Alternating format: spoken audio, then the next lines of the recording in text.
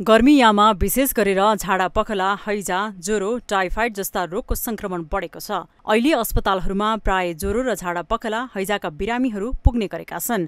दूषित पानीको प्रयोग फोहोर बासी सडे गलेका तथा अव्यवस्थित खानपान प्रदूषित वातावरणमा रहने गर्नाले ब्याक्टेरियाको माध्यमबाट झाडा पखला हैजा महामारीको रूपमा वर्ष्यौनी फैलिने गरेको देखिन्छ। शरीरमा पानीको मात्रा कम हुँदा झाडा पखला र हैजाले बिरामीको ज्यानै जान सक्छ। यस्तै गर्मीयाम सुरु भए भएसँगै बजारमा पानीको माग अत्याधिक हुने गर्छ जसका कारण बिना प्रशोधन निर्मलीकरण गुणस्तरहीन पानी बिक्री वितरण गरिरहेको पाइन्छ जसले जनस्वास्थ्यमा समेत खेलवाड गरेको छ।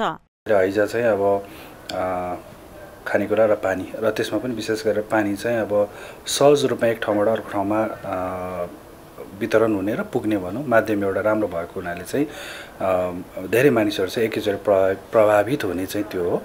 खानेपानी अथवा जारमा चाहिँ इकोलाई भेट्यो अरे कोलिफर्म भेट्यो भन्ने कुराहरू छ होइन। बाहिर गएर अलिकति खाना रुचाउने होइन घुम्ने त्यो अवस्थामा पनि खानेकुराहरू यदि कुनै खाने ठाउँमा ग जाँदाखेरि चाहिँ त्यहाँ केही सङ्क्रमित रहेछ प्रदूषित भनौँ अथवा कन्टामिनेटेड भएको होइन। त्यस्तो खालको खानेकुराहरू छ भने पनि त्यहाँबाट बिरामी हुने सम्भावना चाहिँ रहन्छ।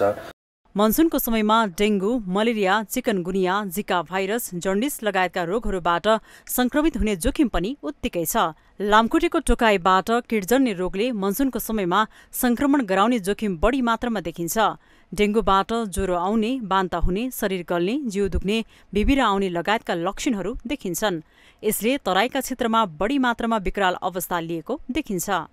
एक्काइसौँ शताब्दीको सबैभन्दा ठुलो चुनौती बनेर एडिस जातको लामखुट्टे आइरहेको छ। लार्भा सर्च एन्ड डिस्ट्रोय सबभन्दा उपाय हुन्छ। एउटा फैलिने बढी मात्रामा रोगहरू देखिनेछ तत्पश्चात मनसुन सुरु हुन्छ। त्यसपछि किटजन्य रोगहरू बढी देख्न सुरु हुन्छ। मैले यो भनेन कि पानी जन्य रोग देखिँदै देखिँदै त्यो भने होइन।